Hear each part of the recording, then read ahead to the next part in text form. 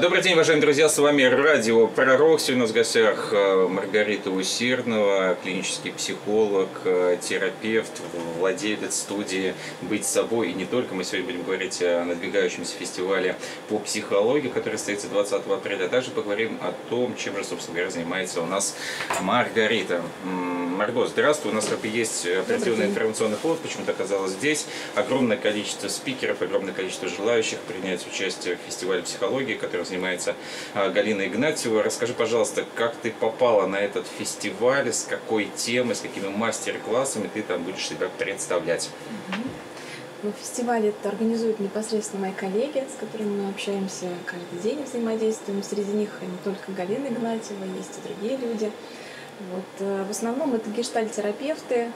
Э, основная идея наша вообще в том состоит, чтобы как-то выйти из подполья и заявить о себе и рассказать э, ульяновцам о том, что есть такой метод и, в общем, доступно приходить к нам на консультации, работать с нами, знакомиться с нами, в общем, как-то открыться миру. Mm. То есть формат основная... фестиваля это просто пообщаться, выстроить какой-то диалог э, с жителями города Ульяновска, либо все-таки проведение серии мастер-классов, знакомство со своими студиями, где да, вы работаете? Да, да, да, все вместе, пожалуй, да. Вообще символ, наверное, этого фестиваля для меня это какие-то открытые такие распахнутые двери вот навстречу людям, которые могли бы и прийти, и познакомиться, увидеть нас непосредственно, и побывать на наших мастер-классах, и о чем-то а, поработать в плане своей жизни, своих целей, жизненных задач, больше как-то себя осознать. И вообще больше понять, что такое может быть психотерапия и консультирование, потому что многие как-то об этом а, задумываются и хотят, но кто-то не отваживается, боится, не знает, как это, про что это, как это будет. Вот на фестивале будет возможность как раз как-то с этим соприкоснуться. Вот мы, кстати, с Галей тоже говорили об этом, о каком-то исключительно русском страхе, боязнь перед психотерапевтом, в отличие да. от э, отсутствия боязни перед священником. Скажи, пожалуйста, как ты думаешь, где коренится этот страх, на уровне чего, и, например, если взять то же самое поколение 2000-х, которое родилось в совершенно другой России, если у молодого поколения страх психотерапевтов показаться инаковым, другим, может быть, немного сумасшедшим, если ты обращаешься за помощью к психотерапевту? Я думаю, что этого страха все меньше у молодых людей, и это здорово. И они, как клиенты, раскрывают себя в терапии более смело. Э, вот. И действительно не боятся показаться какими-то не теми, не такими.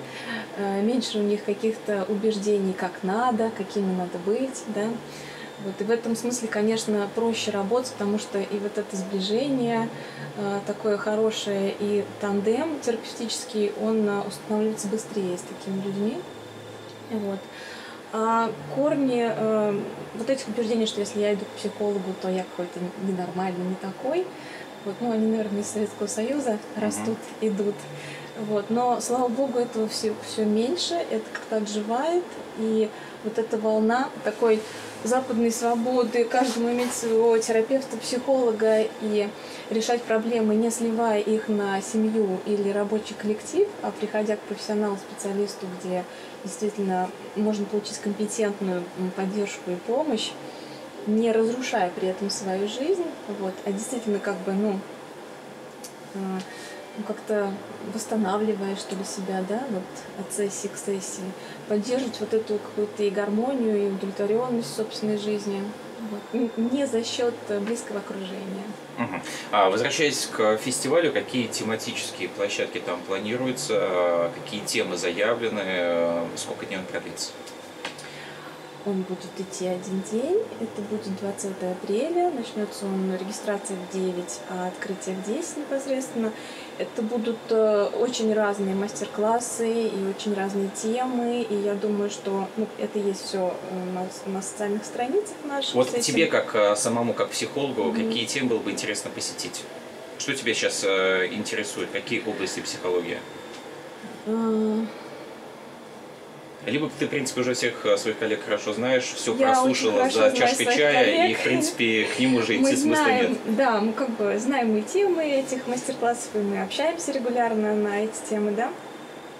А, мне сейчас интересно, наверное, бы вот самой было, есть какой-то такой вот э, к людям интерес, да, приблизиться, и э, я буду выступать с темой, тема мастер-класса будет называться трансформация чувств и удовлетворенность ВКонтакте. Будем мы тоже с коллегой с Еленой вести этот мастер-класс. Вот э, его цель для нас э, ну, сформировать какие-то, может быть, базовые а, базовые навыки вообще работы с чувствами. Потому что и, и это мой э, такой интерес большой, действительно, потому что когда люди приходят на групповую или индивидуальную терапию, это первое, чем мы занимаемся, каким-то налаживанием контакта человека с самим собой вообще, э, развитием способности понимать, слышать, чувствовать самого себя и как-то выражать себя рядом с другими людьми открыто. Вот цель э, нашего мастер-класса, она в этом заключается.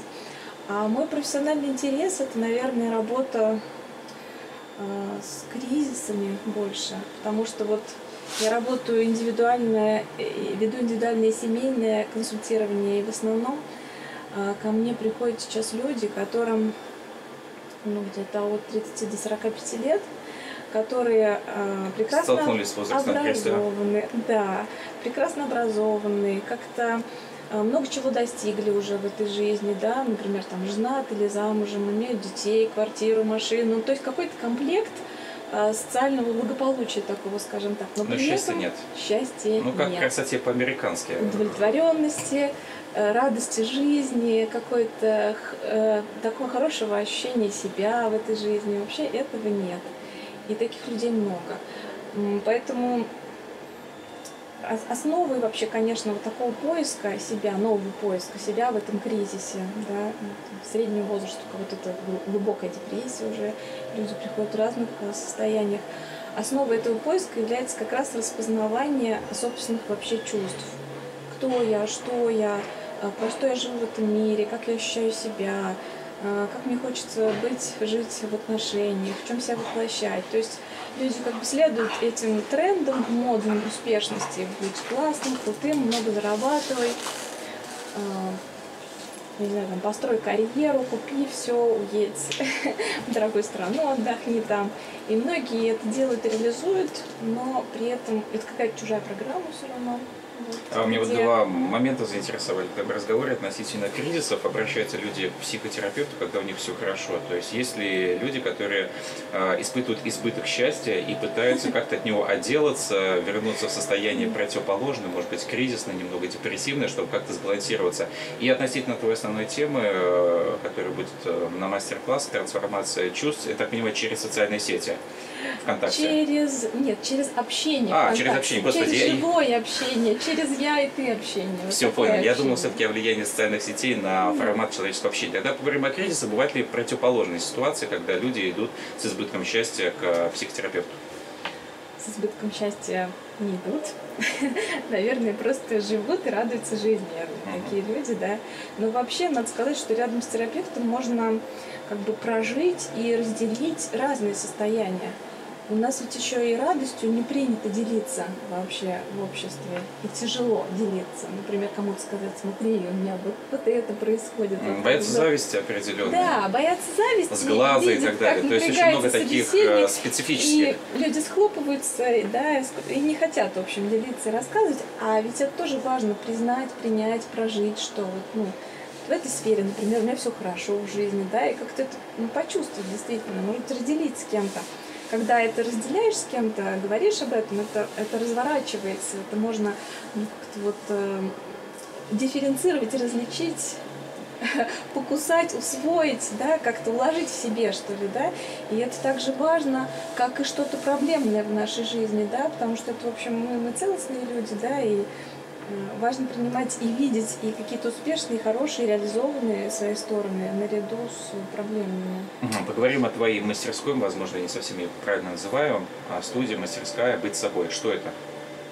Это психологическая студия «Быть собой», которая родилась в, в итоге долгих исканий себя и потом долгих исканий в рамках уже психотерапии подходов, в котором я работала бы вот. Это студия, это конкретное место есть в центре на мира, где я работаю, принимаю клиентов в рамках вот индивидуальной терапии, детско-родительской, семейной или парной психотерапии, групповой. То есть вот такие разные формы работы. вот, в которых я А почему такое название «Быть собой»? Ну, это, конечно, к из себе? истории, из моей истории, наверное, да. Потому что вот э, быть собой для меня это какой-то Не быть экономистом. не быть экономистом, не следовать э, шаблону, э, может быть, не, ну, не делать, как э, советуют э, люди, как видит меня окружение, да, а как-то опираться на свои ощущения и, может быть, рисковать в чем-то, да, и выглядеть как-то действительно не так, да, вот, но при этом быть собой. И это мой какой-то сейчас ну, я не знаю, клич, что ли.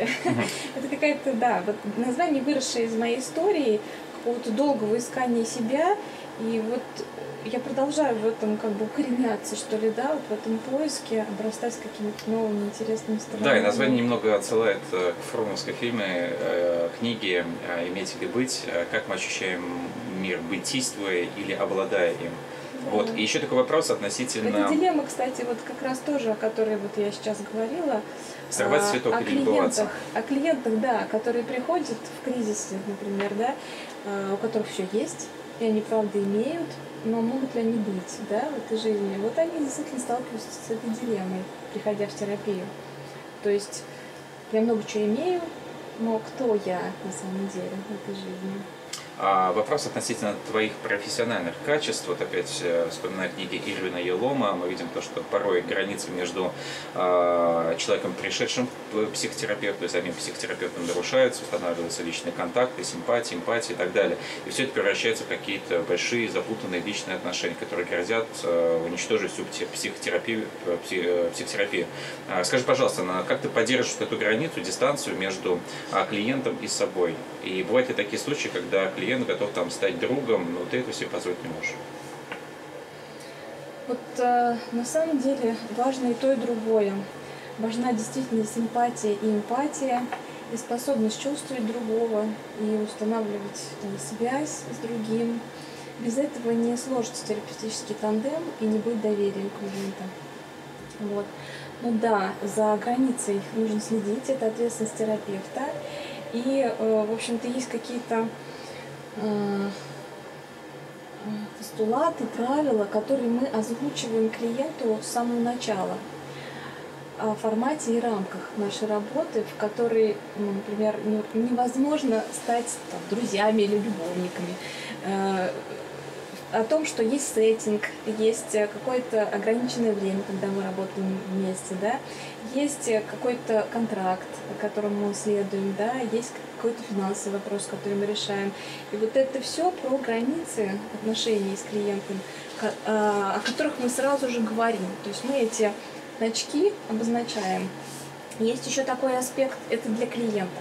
Есть еще такой аспект, как бы, как самой не слиться да, с переживаниями клиента, если они э, сильные, если есть какой-то свой схожий опыт, и, в общем, такой тяга к слиянию в этом моменте. Да, и к тому же, если такая? еще клиент будет красноречивый, очень Да. интересно рассказывать об этом. Да. Вот. э, Здесь залогом вообще здорового какого-то подхода и отношений является и личная терапия э, терапевта самого. То есть вы тоже То есть у нас ходите очень большой у всех вот практически э, коллег, э, которые организуют э, вот это мероприятие, у всех большой опыт и личной терапии, и супервизии. Это, в общем, такой залог хорошего контакта с клиентом какой-то устойчивости самого терапевта. Наверное, А, так. У тебя написано, что ты являешься клиническим психологом. Да. Что это значит? То есть ты работаешь э, в больнице, работал в психиатрической клинике. Что это за стезя психотерапевта? Это работа с разными видами психопатологии. Вот. То есть есть границы нормы, да, это нормальные люди, здоровые психически, да, и есть люди э, ну, с разными отклонениями, скажем так.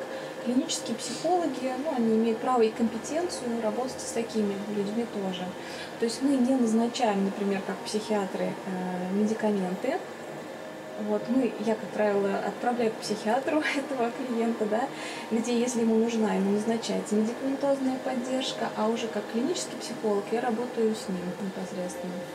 Ну, такая вот э, более, скажем, глубокая компетенция. Такая. А самое любопытное с точки зрения науки заболевание, с которым ты сталкивался у клиента? Шизофрения – это целый мир, э, порой прекрасный, в который хочется да. Окунуться. У- улететь вместе с клиентом, да, посмаковать его, полюбоваться. Иногда он бывает ужасно совершенно. Ну, то есть проявления бывают самые разные, но шизофреники, они, в моем опыте, самые интересные. А бывало ли такое, что клиенты начинают тебя преследовать в силу прогрессирующей какой-либо болезни? Ну, вот, слава богу, такого пока еще не бывало. Вот. Ну, я встречалась с такими социопатичными, в общем, клиентами, от которых я ощущала угрозу. Но это не было как-то реализовано в жизни в виде там, преследования каких-то реальных угроз. А, поговорим о твоем спокойном сне. А, как ты все-таки стараешься дистанцироваться от богатого опыта, приобретенного за день от других людей, и видеть все-таки свои сны, а не сны своих клиентов? Мне кажется важно э, очень любому психотерапевту иметь свою насыщенную, богатую, интересную жизнь. Э, И как-то не э, замещать, что ли, да, ее историями клиентов, даже в которых очень много чувств каких-то, да, и увлеченности какой-то, да. Вот если она есть, это жизнь. А Семья, близкие, собственно, интересы разнообразные, да, какой-то профессиональный путь и так далее. То есть если жизнь наполнена, насыщена, то вот такого не происходит, что я не сплю спокойно из-за клиентов, да. О каких-то из них я, правда, больше думаю, чем об остальных. Вот. А, вот можно сказать, то, что в нашем городе есть э, музыкальная тусовка, есть модная тусовка, есть у нас э, психотерапевтическая тусовка вне фестиваля, где вы Да. собираетесь обсуждать Да. какие-то проблемы, повышаете уровень и качество своего образования. Да, безусловно, есть эта тусовка. Есть ли какая-то база, место, это клуб, это бар, это университет, что это? Или просто встречаетесь на Ну улице, вот, идете в э, кафе? мы с коллегами, наша команда, в основном консультирует на базе двух студий. Вот студии «Быть собой» и еще вот там, где работают Наталья Еда- Евдокимова и э, Галина Игнатьева, там у них тоже есть кабинет. Вот на базе этих двух студий, кабинетов мы встречаемся, у нас такая э, коллегиальная встреча происходит, на которой мы, например, разбираем там какие-то случаи э, трудных клиентов, например, да, принимаем какие-то волнующие нас важные вопросы, э, ценностные, философские, связанные с терапией, какие-то э, наши собственные ну, вот какие-то трудности или заторы в практике, которые мы видим, сами распознаем, да, у нас есть возможность вот обсудить это друг с другом. Это очень такое поддерживающее, теплое и профессиональное пространство, в котором, в общем, мы растем. Вот, Если говорить как бы вот о профессиональном пространстве роста, какие, может быть, мастер-классы, обучающие программы вы посещаете, просматриваете на ютубе, чтобы постоянно повышать свою квалификацию? Потому что с развитием мира, с развитием технологий, мне Конечно, кажется, м, Мгм. появляются новые болезни. Та же самая зависимость от соцсетей, от киберсекса и не только. Да, и э, клиентов, приходящих с зависимостями разного рода, все больше на самом деле. И есть еще такая неприятная тенденция, а, как бы соцсети э, это такой разрозненный мир, в котором очень сложно установить какие-то реальные человеческие теплые отношения людям. И много приходит молодых тоже людей девушек, которые, например, общаются в соцсетях, но им сложно построить ну, такие глубокие настоящие отношения, хорошие, близкие, с живыми людьми. Для многих это проблема. Вот. А что касается меня, да, я много смотрю на Ютубе и читаю, и езжу по разным развивающим программам. Но все это связано для меня с психотерапией, конечно, больше. И с гештальт-терапией, с направлением, в котором я учусь. Очень много сейчас э, авторов, которые об этом много пишут и как-то развивают вообще теорию гештальт-терапии дальше. А есть ли какие-то специфические жесты у любого психотерапевта, чтобы показать свою расположенность э, клиенту? Не бывает ли такое, что ты к концу психотерапии сама закрываешься, скрещиваешь руки, ноги, закрываешься от клиента, либо все-таки определенный опыт, э, профессионализм тебя постоянно подталкивает быть открытой для мира? А, Наверное, есть ты заложником своих собственных жестов? Многие психологи говорят, угу, угу. и, наверное, они вот так вот иногда наклоняют голову, я так делаю, я про себя знаю. Вот это какие-то мои жесты. По поводу рук и ног, не знаю, я, э, наверное, это все происходит как отклик на клиента, как отклик на человека, который рядом. Вот. И жесты, То есть и клиент дыхание. может открыть и закрыть тоже психотерапевта? Нет, терапевта не может. Скорее, я могу чувствовать, что мне хочется сделать рядом с ним, да, вот с этим клиентом закрыться или открыться, э, не знаю, расслабиться, дышать глубже или напрячься. Выйти из комнаты. Выйти из комнаты, да. То есть это какой-то живой отклик на реального, рядом присутствующего человека. И это очень диагностично.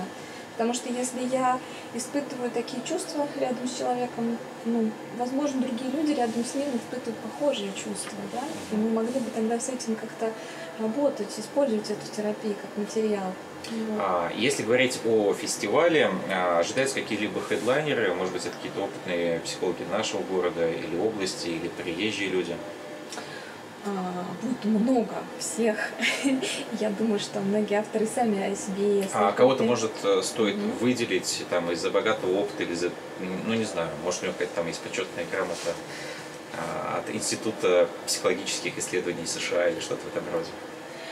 А, я думаю, что у всех а, моих коллег есть какие-то специфические сферы, в которых они углубляются, да, и э, в которых ну вот из опыта, да, им есть что сказать в этом смысле. И это очень интересно, действительно достойно внимания. А так к нам еще присоединяются и, скажем так, люди не только из гештальтерапии, да, например, с нами будет еще Галина Морозова, Татьяна Кузьмина, то есть э, психологи, которые работают и в других направлениях, да, и которые имеют колоссальный опыт на самом деле. Вот говорят про актеров, то, что актером можно стать где-то после 25, когда ты переживешь весь спектр чувств, чтобы вживаться в роль того или иного а, существа. Вот э, что можно сказать по поводу психологов, психотерапевтов, а в каком возрасте может появиться зрелый, сформировавшийся психотерапевт, который может быть человек? Я может думаю, ли психолог возраст... стать после окончания там, университета? А... Должен ли он пережить все ситуации, с которыми сталкивается при той или иной болезни? Наверное, не все, потому что все все-таки не пережить. Но, наверное, что-то он должен пережить. Вот. И мне сложно как-то сказать, вот, исходя из лет, прям вот сколько должно ему лет быть, какой возраст. Мне кажется, тут важными, важными два фактора формирования терапевта. Это какой-то свой путь прожитый, трансформации, перемен, изменений и выхода из каких-то там, трудностей, кризисных состояний, э, опыт какого-то роста, взросления, осознанный такой вот опыт, да, чтобы ну, было чем поделиться, да, вообще с клиентом, со, со пережить, да, что. И второй момент это, наверное, момент э, все-таки личной терапии, потому что это место, где мы взрослеем, растем и осознаем, что с нами происходит, и все раскладываем по полкам. То есть я не думаю, что может быть хороший терапевт без личной терапии. Это путь, который вот, ну, изнутри, что ли, нас раскрывает как терапевтов. И мне легко тогда чувствовать и понимать клиента э, в роли клиента, да, мне как терапевт, который есть, у которого есть клиентский опыт. Мне, мне понятно, что он проживает в этот момент относительно семьи и друзей, насколько просто общаться и помогать им в тяжелых ситуациях, тебе как психологу и психотерапевту, а, здесь ведь ты не можешь провести какие-то профессиональные Нет. линии и так далее. Вот насколько ты можешь уйти в проблему близкого для тебя человека и вернуться обратно? И насколько ты в этом компетентный и профессиональный? Помогает это или нет? Или лучше все-таки идти к стороннему психотерапевту лучше или к себе? идти к стороннему терапевту, потому что мы как близкие люди все равно будем сверх вовлечены, и наш э, взгляд очень такой субъективный, да. Я, наверное, могу поддержать э, своих близких, да, из роли там мамы, жены, э, дочери, да, родственницы, подруги, может быть, близкой, да. Но это не будет психотерапия, это будет другое, да. Это просто будет такое вот, ну, теплая семейная поддержка, А идти решать проблемы, да, лучше к терапевту, к невовлеченному в процесс профессионалу. Вот, будет эффективнее, конечно. Уважаемые друзья, у нас сегодня в гостях была Маргарита Усердного, опытный психотерапевт. Э, в общем, человек куча регалий. Если хотите получше узнать конкретно ее и многих других прекрасных людей, приходите 20 апреля на фестиваль психологии, где куча интересных и опытных Всех людей ждем. да, поделятся своим уникальным опытом, э, опытом, наверное, познания душ человеческих, что всегда будет интересно как обычным слушателям, так и профессионалам. Следите за психологической мыслью. Всем хорошего дня.